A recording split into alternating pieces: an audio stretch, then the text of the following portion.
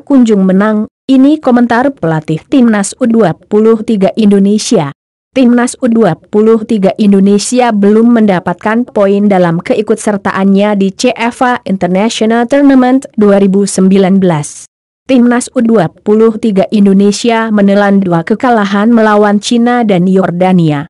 Tak hanya kalah, Indonesia juga belum bisa mencetak satu gol pun dari dua pertandingan tersebut. Hal ini lantas memunculkan kritik terhadap kepemimpinan pelatih timnas U23 Indonesia, Indras Jafri. Namun begitu, rupanya Indras Jafri tak ingin terlalu muluk-muluk pada ajang ini.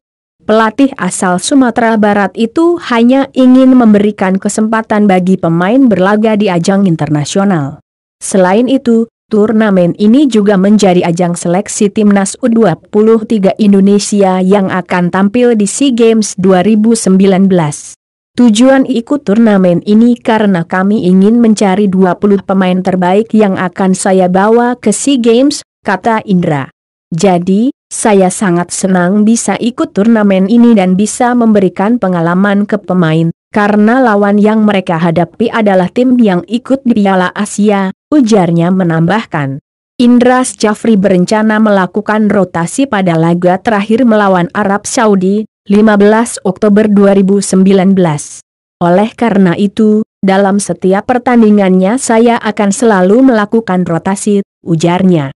Jadi saya tahu mana pemain yang layak untuk bisa masuk dalam skuad yang akan dibawa untuk SEA Games 2019, tutur Indra mengakhiri. Laga terakhir Indonesia melawan Arab Saudi sekaligus menjadi penentu juara CFA International Tournament 2019. Pasalnya, Arab Saudi baru saja menahan imbang Cina dengan skor 0 sampai 0 pada laga sebelumnya, Minggu, 11 Oktober 2019.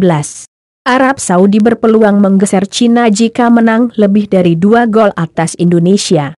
Saat ini, Arab Saudi menduduki peringkat kedua dengan empat angka, sedangkan Cina menjadi yang pertama dengan tujuh poin. Adapun Indonesia masih menjadi juru kunci klasemen tanpa satu poin pun.